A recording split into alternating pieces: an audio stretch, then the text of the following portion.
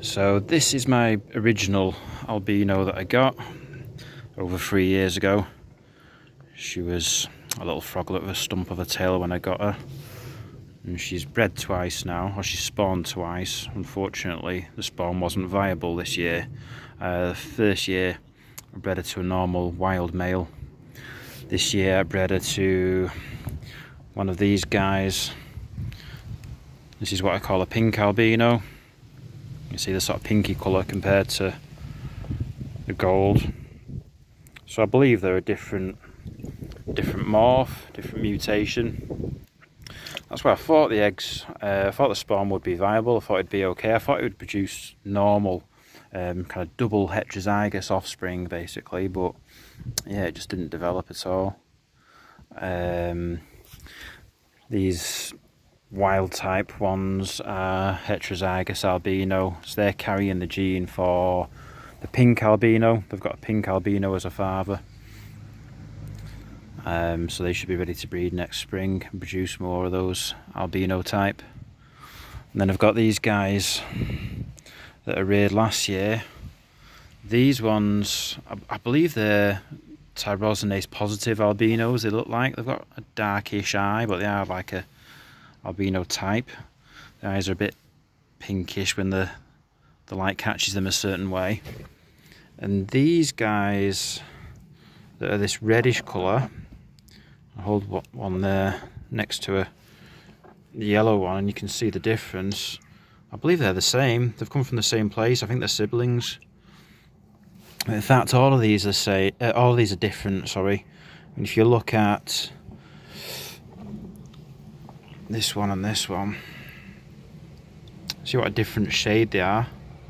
So I believe they're the same type. I think that's just down to the individual variation that you get in common frogs because you know if you look at wild type ones any wild frogs um, they're all individual.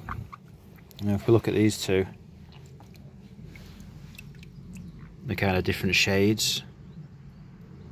Similar-ish those two.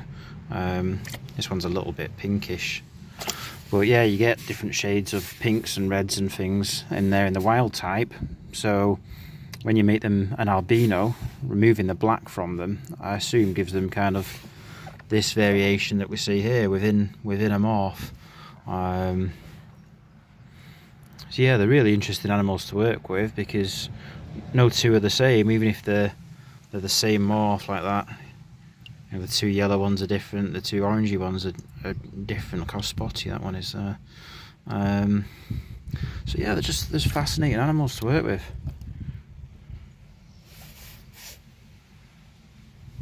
I just want to show you as well some albinos what I'm rearing this year. You can see the little guy there. Um, they look kind of like a, a tyrosinase positive albino again. Similar. But they look a little bit different. The eye colour's more reddish colour.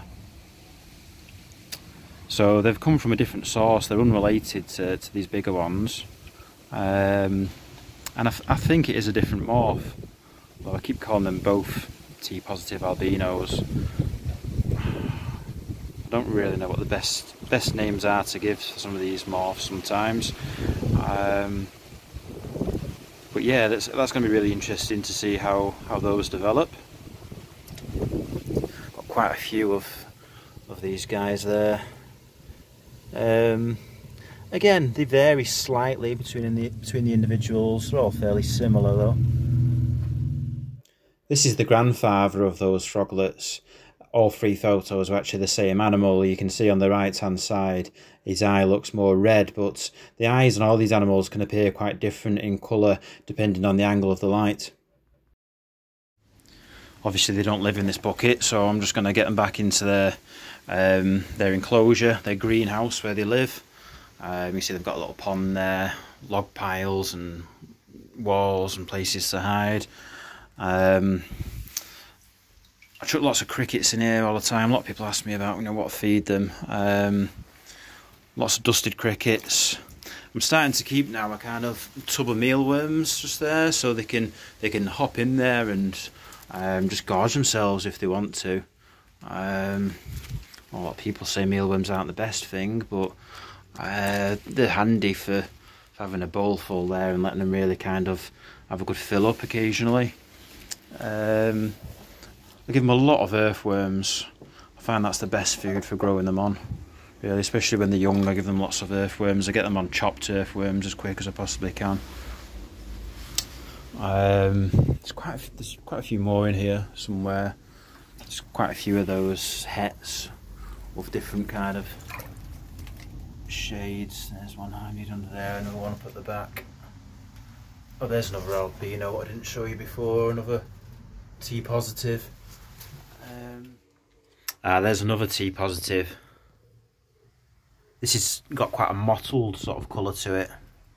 Quite different to the others. So there's there's lots going on. Um, watch this space. 2024 is going to be a really exciting year for the captive uh, breeding project of these animals. So I'll keep you updated. Thanks for watching.